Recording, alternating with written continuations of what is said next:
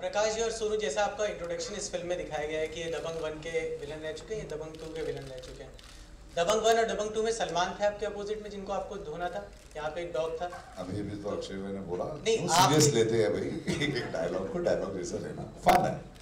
लेकिन आपके सलमान को मारने के लिए मतलब ऐसे क्यों की- कर रहे हैं आप just take it as fun. Well um, I was very happy the way Akshay put it. I think this film entertainment happened because of the soul of the film uh, Sajid Farhad narrated me the script and in my career of 300 films I had never uh, felt so, I heard a script which was so endearing and it was so beautiful. And all actors used to stay on the door, entertainment used to come.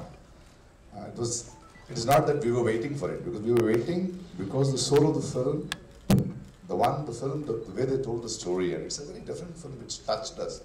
I think it brought the child in us.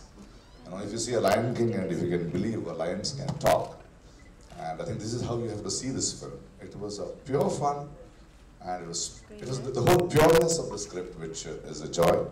So as you जो dialogues is just it's just a rib tickling, funny, barking lines. But then the film is beyond that, and um, I'm really proud. I think I'm sure that uh, all of us are really proud to be associated with a film where it is such an unlearning process. It was. I wouldn't ever call that dog a dog. I think he is my co-actor, and he was wonderful.